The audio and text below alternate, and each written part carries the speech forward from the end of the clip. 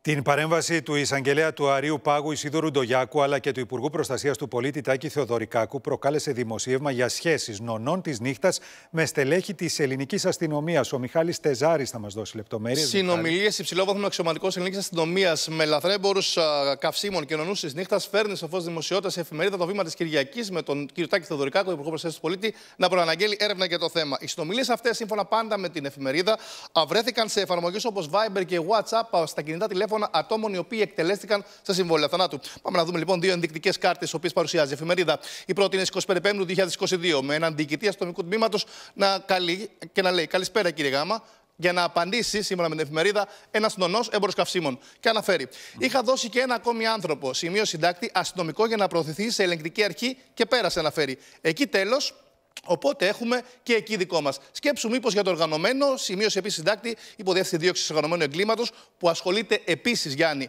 α, με υποθέσεις λαθρεμπορίας καυσίμων, δώσουμε κάποιον να πας εσύ στη δίωξη εκβιαστών. Α, μια υπηρεσία η οποία ασχολείται με νονούς της νύχτας, να είμαστε κομπλέ, αναφέρει ο συγκεκριμένος άνδρας. Στη συνέχεια, λοιπόν, έχουμε μια ακόμη κάρτα, η οποία, σύμφωνα με εφημερίδα, ένας διάλογος στις 3 Έκτου του 22 με διοικητή αστυνομικού τμήματος να λέει Καλημέρα.